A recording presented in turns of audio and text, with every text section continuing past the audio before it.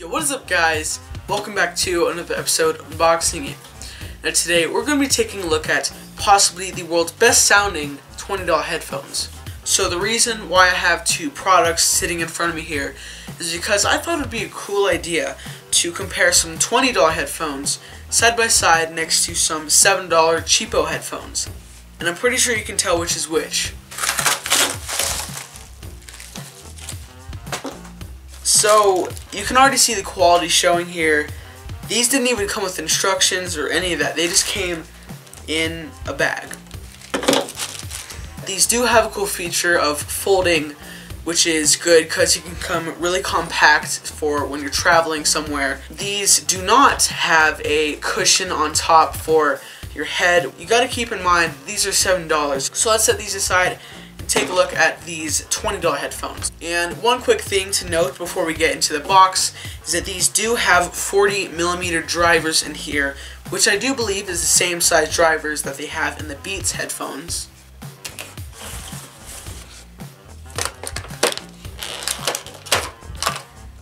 So my first impressions are really good.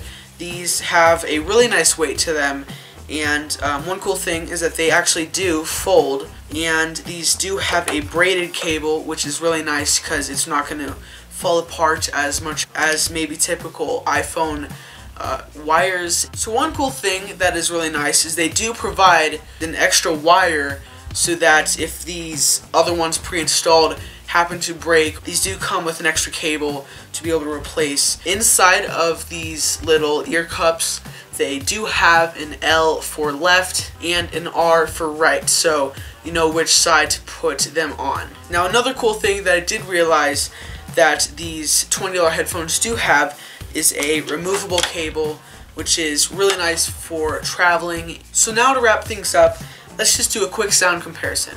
I just remembered the uh, this doesn't have a headphone jack.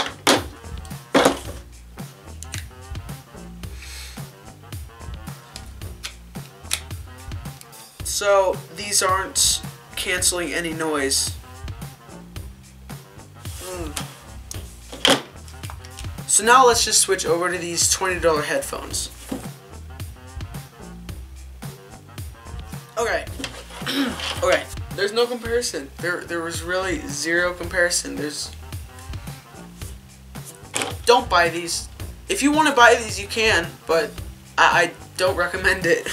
the headphones that come with your phone, they sound way better than these. And sure, okay, maybe these may cost a little bit cheaper, but the quality definitely shows. Now, when we get to these, these $20 headphones, these are way better.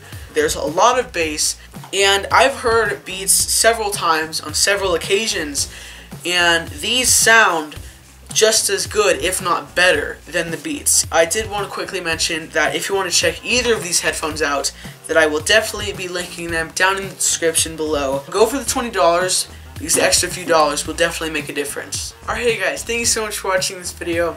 I really hope you enjoyed it. Now definitely make sure to stick around because I have a lot of awesome content coming out very soon that you will definitely not want to miss out on. And like always, make sure to comment, share, and subscribe below. And I'll see you next one. Peace out.